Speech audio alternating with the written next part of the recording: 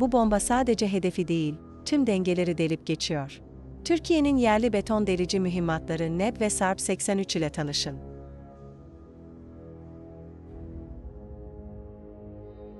Türkiye'de yerli kaynaklarla geliştirilen ilk beton derici mühimmat olma özelliği taşıyan nüfuz edici bomba üretimde.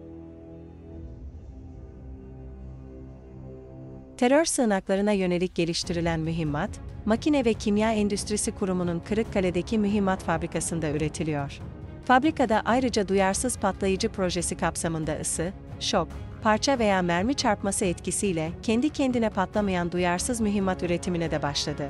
Nüfuz edici bomba, yerüstü ve yer altındaki hedeflere karşı kullanılmak üzere tasarlanan, ardışık derici harp başlığı teknolojisine sahip, Türkiye'de geliştirilen ilk beton derici mühimmattır. Nebin dış geometrisi, güdüm kiti arayüzleri, kütle, kütle merkezi ve eylemsizlik özellikleri MK-84 genel maksat bombası ile benzerdir.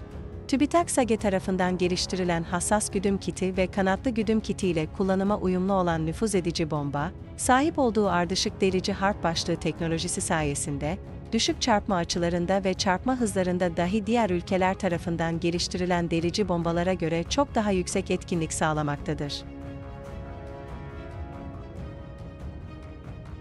TÜBİTAK SAGE tarafından geliştirilen hassas güdüm kiti ve kanatlı güdüm kiti ile kullanıma uyumlu olan nüfuz edici bomba, sahip olduğu ardışık derici harp başlığı teknolojisi sayesinde, düşük çarpma açılarında ve çarpma hızlarında dahi diğer ülkeler tarafından geliştirilen derici bombalara göre çok daha yüksek etkinlik sağlamaktadır. Nebin dış geometrisi, güdüm kiti arayüzleri, kütle, kütle merkezi ve eylemsizlik özellikleri MK-84 genel maksat bombası ile benzerdir. 870 kilogram ağırlığındaki neb mühimmatları Türk Hava Kuvvetleri envanterinde yer almaktadır ve 2.1 metre kalınlığında güçlendirilmiş betonu delebilmektedir. NEP, F-4 ve F-16 uçaklarına sertifiye edilmiştir. Ayrıca MK-84 GMB'nin sertifiye olduğu tüm uçaklardan atılabilme potansiyeline sahiptir. Sanayi ve Teknoloji Bakanı Mustafa Varank'ın Türkiye'de ilk kez ardışık delici teknolojisine sahip, canlı mühimmat test edildi mesajıyla duyurduğu SARP 83 beton delici mühimmat savunma sanayi çevrelerinde heyecan yarattı. Savunma sanayi araştırmacısı Anıl Şahin, söz konusu mühimmatın hem tekil olarak hem de Türkiye'nin yerli ve milli imkanlarla geliştirdiği benzer ürünlerle beraber ele alındığında, o sınıfın geneline kazandırdıkları açısından son derece önemli olduğunu söyledi. Mühimmatın genel özelliklerinden önce testin yapıldığı yere dikkat çeken Şahin, bu test ülkemizde, yine tamamen yerli ve milli imkanlarla geliştirilen hedef balistiği raylı sistem dinamik test altyapısı tesisinde yapıldı. Söz konusu yer 3000 kare bir alan üzerine kurulu. Yaklaşık 2000 metre uzunluğundaki çift ray hattı ile dünyanın sayılı altyapılarından biri olma özelliğine sahip. Milli imkanlarla geliştirilen sistemlere ait testlerin, milli test altyapılarında gerçekleştirilmesi, bu konuda yurt dışı bağımlılığını ortadan kaldırmak ve ülke dışına çıkan ekonomik kaynakları önlemekle kalmadı. Aynı zamanda kritik milli bilgilerin yurt dışına çıkmasını da engelledi bilgisini paylaştı. Anıl Şahin, Türkiye'de ilk kez ardışık derici teknolojisine sahip canlı mühimmat test edildiğini hatırlatarak, SARP 83'ün ne gibi avantajları beraberinde getireceğine ilişkin şunları söyledi. Beton derici mühimmat olarak tasarlanan ve ardışık derici harp başlığı teknolojisine sahip SARP 83'ün testlerini başarıyla tamamlaması gelecek döneme ilişkin önemli bir adım. Bilindiği üzere ülkemizin ilk sığınak derici bombası NEB olarak bilinen nüfuz edici bombaydı ve MK-84 genel maksat bombasına benzer bir yapısı vardı. Nüfus edici bombaları geliştiren TÜBİTAK SAGE bu kez MK-83 benzeri bir yapıda olan SARP 83'ü geliştirdi. Bu ürün MK-84'lere oranla daha hafif. Bu tarz mühimmatlarda hafifliğin önemi herkesin malumu. Şimdi bir yandan da Sert 82 ismi verilen mühimmatın çalışmalarına devam ediliyor. Biz kendi üretimimiz olan nüfuz edici bomba ile MK-84 karakteristiklerinde bir sığınak delici mühimmat ortaya çıkarmış olduk. Şimdi ise MK-83'ün karakteristik özelliklerine benzer bir sığınak delici mühimmat olan SARP 83'ü yaptık. Aynı zamanda MK82'ye benzer özelliklere sahip sığınak derici mühimmat olan SARP 82 için de TÜBİTAK SAGE bünyesinde çalışmalara devam ediyoruz. Mark serisi mühimmatlarda klasik bir harp başlığı var. Bizim ürettiklerimizde ise çift harp başlığı var. Tüm bunları alt alta koyduğunuzda Türkiye'nin bu tarz mühimmatlarda aslında bir aile oluşturduğunu görüyoruz. Sarp 83'e dair yayınlanan test görüntülerine ilişkin de görüşlerini paylaşan Anıl Şahin, şöyle devam etti. Bu testin ardından kalifikasyon ve sonrasında seri üretim süreci başlayacak. Sarp 83 envantere girdiğinde bu ürünü de tıpkı diğerleri gibi kanatlı güdüm kiti, hassas güdüm kiti, lazerli güdüm kiti gibi yine kendi ürettiğimiz sistemlerle entegre edecek ve etkili şekilde kullanmaya başlayacağız. Tabii burada bir hususun altını çizmekte fayda var. Sarp 83'ün 1.8 metre güçlendirilmiş betonu delebildiğini gördük. Bu çok ciddi bir rakam ve bu özelliğiyle de Sarp 83 nedenli iyi ve önemli bir mühimmat olduğunu gösteriyor. Anıl Şahin, Sarp 83'ün yaklaşık 415 kilogram ağırlığında olduğunu bu nedenle insansız hava araçlarında kullanılmasının en azından bu dönemde pek mümkün olmadığını ifade ederek sözlerini şöyle tamamladı.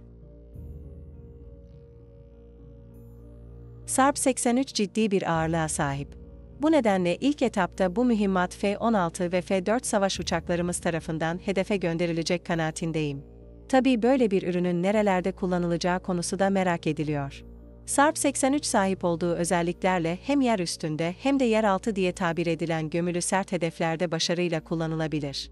Bu kapsamda, yerüstü hedefler olarak uçak pistleri, barajlar, köprüler, kritik binalar, radar antenleri, sabit hava savunma füze bataryaları, endüstriyel tesisler, park halindeki uçakları sayabiliriz.